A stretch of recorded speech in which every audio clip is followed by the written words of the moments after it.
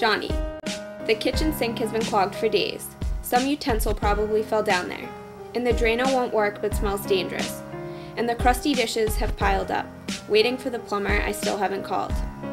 This is the everyday we spoke of. It's winter again. The sky's a deep, headstrong blue, and the sunlight pours through the open living room windows because the heat's on too high in here and I can't turn it off. For weeks now, driving or dropping a bag of groceries in the street, the bag breaking, I've been thinking, this is what the living do. And yesterday, hurrying along those wobbly bricks in the Cambridge sidewalk, spilling my coffee down my wrist and sleeve, I thought it again, and again later, when buying a hairbrush. This is it. Parking, slamming the car door, shut in the cold, what you called that yearning, what you finally gave up. We want the spring to come and the winter to pass. We want whoever to call or not to call.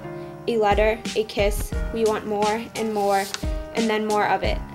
But there are moments walking when I catch a glimpse of myself in the window glass, say the window of the corner video store, and I'm gripped by a cherishing so deep for my own blowing hair, chapped face, and unbuttoned coat that I'm speechless.